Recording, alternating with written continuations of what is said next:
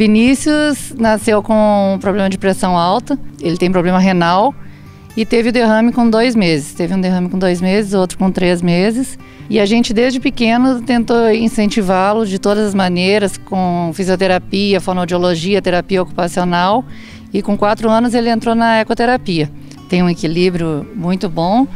E a ecoterapia ajudou muito nesse controle de tronco que ele tem, que a maioria das crianças, o Vinícius quando era pequeno, e a maioria fica caidinho. Mas daí a ecoterapia te dá esse controle de tronco que ele tem agora.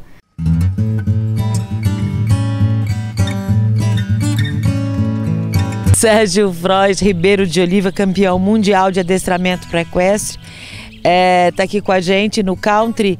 E eu quero saber, Sérgio, há quantos anos você monta, em primeiro lugar? Eu monto há 10 anos. Eu tenho paralisia cerebral e eu faço ecoterapia desde, desde pequeno.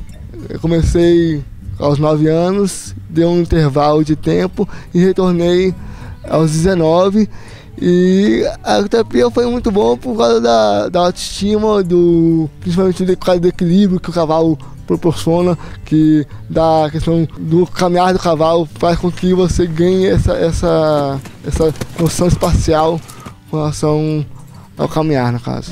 Marcela Pimentel é ecoterapeuta e é a treinadora da equipe brasileira paralímpica. Marcela, ecoterapia, como ela funciona e em que, que ela é positiva? A ecoterapia é positiva para todas as pessoas, não só as pessoas que têm algum tipo de deficiência, mas as pessoas que querem se reabilitar, que querem ter uma vida mais tranquila, querem trabalhar consciência corporal, respiração. Então, ela é boa de uma forma geral, principalmente para as pessoas que têm algum tipo de deficiência, ou intelectual ou física, mas o cavalo é especial para todo mundo. Assim como você conhece o animal, ele te conhece? Você acha que ele te reconhece? Ele sabe quando você está bem naquele dia ou não? Com certeza. Então, ele sente, sabe, qualquer tipo de reação, ele vai com, de acordo com quem está em cima. Já teve alguma vez que você falou assim pro seu cavalo, hoje eu não tô legal, dá licença? Ah, já, já várias vezes, assim. Eu, eu, tão, eu, eu não estando legal e ele não estando legal também. Luiz Alberto Corá, mais conhecido como Beto, é auxiliar guia aqui da treinadora Marcela e ecoterapeuta. Como é que é essa história de ser chamado de puxador de cavalo? É porque muitas pessoas confundem o trabalho de auxiliar guia com puxador de cavalo. O auxiliar guia é aquele cara que trabalha com a terapeuta e com o praticante de ecoterapia. Porque a terapeuta faz o trabalho dela, eu faço o meu. O meu trabalho são dois: cuidar do animal e cuidar para que o praticante não, não venha, não venha cair. E para que a terapeuta possa fazer todos os movimentos que faz, ou, ou mandar o, o, praticante abrir os braços, ou tocar, na, uh, tocar no pescoço do cavalo, e fazer o trabalho que ela faz. Então, eu, eu sou um condutor e muita gente me chama de puxador de cavalo. O Beto é um outro caso. O Beto ele veio pra gente para trabalhar como auxiliar guia, para ajudar a gente na ecoterapia, ajudar a puxar os cavalos. Já montava há muito tempo, já tem uma história longa com cavalo, já participou de várias modalidades equestres e a gente viu nele também um talento para a equitação paralímpica. Hoje ele é um dos destaques brasileiros, mas também vem do processo de ecoterapia, o processo de aproximação do cavalo e tem um potencial para representar o Brasil nos Jogos de 2016. 2016. Que eu tenho uma limitação lá direito, né, a mesma lesão do Sérgio, e me ajuda a ver que a minha lesão, perto de muitos que a gente atende ali, síndrome Down, pessoas com paralisia cerebral igual a minha, que tem mais comprometimento que a minha. Estou participando de provas aí, vão, a gente está treinando para 2016 e agora é trabalhar para 2016. Né? Você falou de autoestima. Uh, em que sentido? No sentido de você conseguir dominar?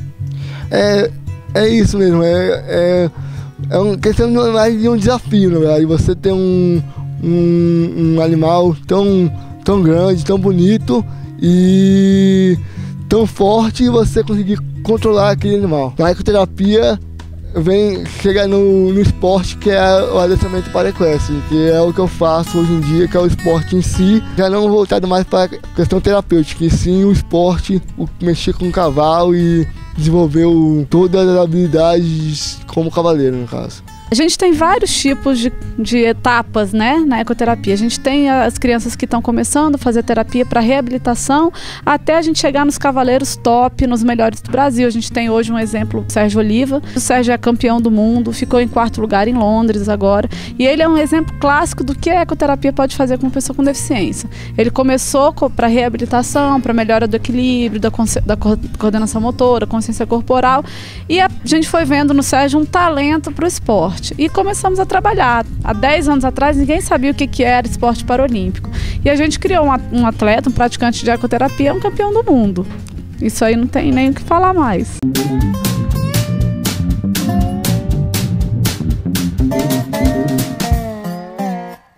Paralimpíada no Brasil. Me fala um pouco da seleção brasileira. O que, que você espera? Para onde ela está caminhando? Bom, na minha opinião, vai ser o processo seletivo mais difícil, porque o Brasil já tem as vagas. A gente tem todas as vagas em todas as modalidades. Então vai ser um processo interno, na verdade. A gente não vai ter que sair e buscar a qualificação internacional. Na verdade, é um processo interno. Obviamente, a gente vai fazer as competições, competições internacionais para ter o processo, para estar tá bem qualificado no ranking, mas a, a briga vai ser no Brasil, entre os melhores do Brasil. E briga de vez em quando com os atletas também. Pra ter... Briga? Ou a gente tem que estar tá ali no dia a dia, né? Não é fácil treinar um atleta, é ralação.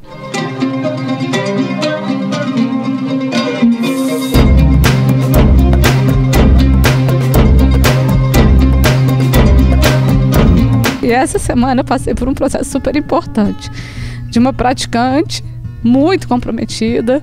Ela teve que parar de montar, mãe não teve mais como levar e ela voltou a montar quarta passada. E foi o abraço que ela me deu. A felicidade de vê-la de novo no cavalo. Isso não tem preço. Não, essa é a paixão, não o dinheiro. É o que eu estou te falando, é a paixão pelo trabalho. E da terapia pode surgir outros Sérgios, outros Betos,